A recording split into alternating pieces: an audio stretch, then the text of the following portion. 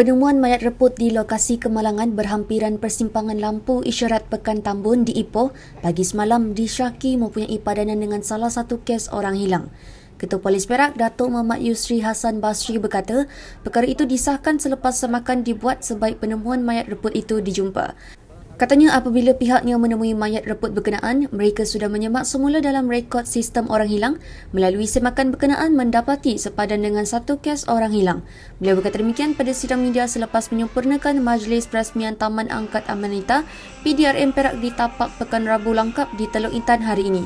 Muhammad Yusri berkata susulan penemuan ini satu pasukan khas ditubuhkan bagi melakukan siasatan kes secara mendalam dan mengenal pasti identiti mayat reput itu. Seperti mana yang sebutkan awal tadi, saya telah menumbuhkan satu tim khas untuk menyiasati sini. Ya. Jadi, siasatan masih dijalankan untuk kita mengenal pasti punca kematian dia, kenapa dia dibunuh dan di mana lokasi sebenar dia di